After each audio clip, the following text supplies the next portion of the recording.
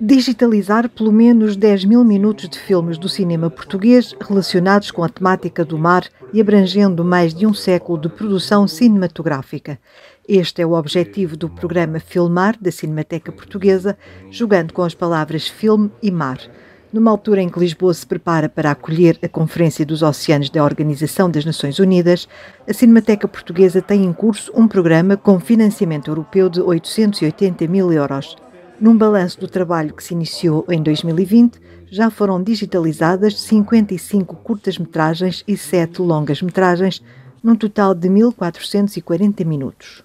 Há, sobretudo, uma, uma consciência muito grande de que o mar foi uma matéria profundamente manipulada e, sendo profundamente manipulada, quem a manipulava era consciente de que o mar lhe escapava permanentemente, razão pela qual existem muitas sequências em que se acha que se está a filmar o mar, mas na verdade se está a falar de perda, se está a falar de revelação, uh, se está a falar de desistência, mas também de redescoberta, e portanto há um lado mítico na nossa relação com o mar que passa pelo, que passa pelas imagens em movimento e que o cinema devolve como qualquer coisa que não é materializável, que não é concretizável e que, portanto, não se consegue agarrar. O projeto de digitalização prevê retrospectivas no final do programa, mas a Cinemateca está já a programar sessões com alguns dos filmes digitalizados,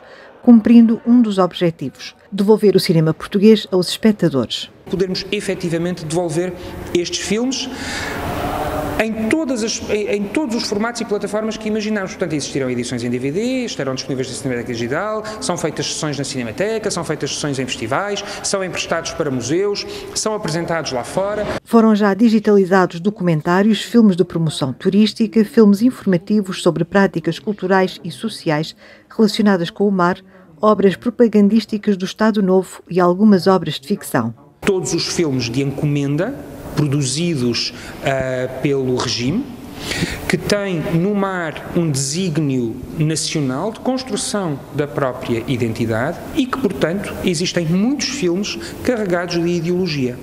E, portanto, não basta digitalizar os filmes. É preciso, ao digitalizar, encontrar formas de apresentação desses filmes, encontrar contextos adequados para que esses filmes uh, eh, um, eh, sejam relidos à luz daquilo que nós hoje sabemos. Mais do que fazer uma simples digitalização e disponibilização ao público destes filmes, a Cinemateca quer propor novas leituras do cinema português em estreita colaboração com festivais, cineclubes e museus.